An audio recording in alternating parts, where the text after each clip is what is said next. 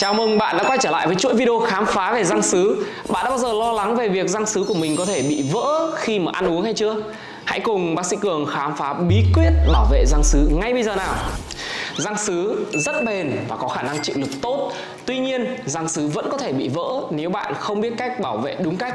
Dưới đây là những nguyên nhân và cách giải quyết vấn đề này. Khi mà chúng ta cắn nhai đồ ăn cứng thì việc mà chúng ta cắn nhai đồ ăn cứng như là xương, hạt cứng hoặc sử dụng răng để mở nắp chai uh, có thể gây vỡ răng sứ hãy tránh những cái thói quen này để bảo vệ răng sứ thứ hai là chấn thương. Những cái chấn thương mạnh do tai nạn hoặc do va đập có thể làm vỡ răng sứ ví dụ như chúng ta chơi thể thao boxing hoặc là những cái môn uh, thể thao va chạm nhiều nhé hãy đeo dụng cụ bảo vệ khi chơi thể thao. Đó là cách tốt nhất để bảo vệ răng sứ khỏi những cái chấn thương không mong muốn và cả răng thật nữa các bạn ạ.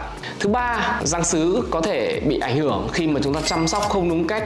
Việc không vệ sinh răng miệng đúng cách và không đến kiểm tra định kỳ với bác sĩ có thể là yếu tố làm yếu răng sứ và tăng nguy cơ bị gãy vỡ răng sứ khi mà chúng ta chăm sóc răng sứ đúng cách thì nó sẽ giúp duy trì độ bền và cả màu sắc thẩm mỹ của răng.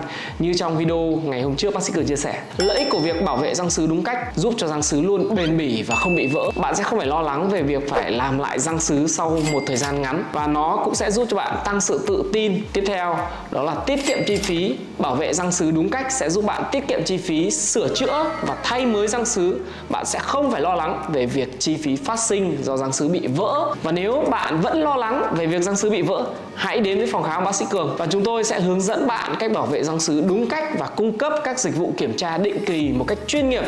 Hãy đăng ký ngay hôm nay để nhận những ưu đãi đặc biệt và tư vấn miễn phí từ bác sĩ cường nhé. Vào ngày mai thì chúng ta sẽ cùng tìm hiểu liệu có nên làm răng sứ hay không. Và bạn có bao giờ phân vân về quyết định này? Hãy đón xem video vào ngày mai nhé. Và đừng quên đăng ký kênh bác sĩ cường, nhấn vào nút quả chuông để không bỏ lỡ bất kỳ video nào từ chúng tôi.